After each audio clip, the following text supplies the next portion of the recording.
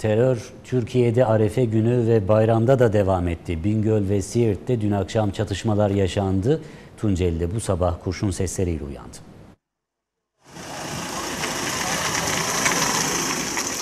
Terör ne Arife dinliyor ne bayram. Bingöl Elazığ Karayolu Kurudere Köyü mevkiinde akşam saatlerinde yol kesen teröristlere zırhlı polis aracı müdahale etti.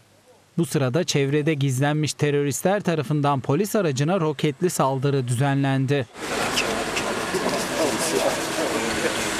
Saldırıda iki polis memuru yaralandı.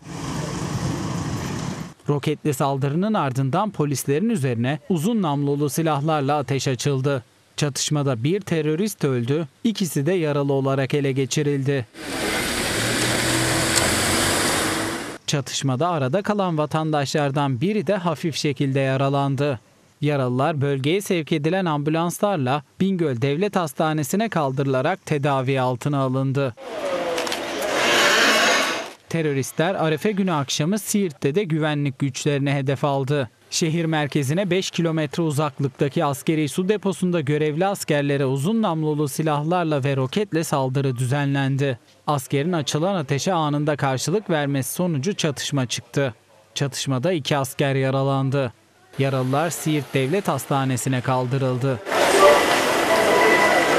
Terör bayram sabahı da dinmedi. Tunceli Merkez K4 noktasına sabah saatlerinde nöbet değişimi için giden özel harekat polislerine bir grup PKK'lı terörist tarafından ateş açıldı. Polislerin karşılık vermesiyle çatışma çıktı. Çatışmada ölen ya da yaralanan olmadı.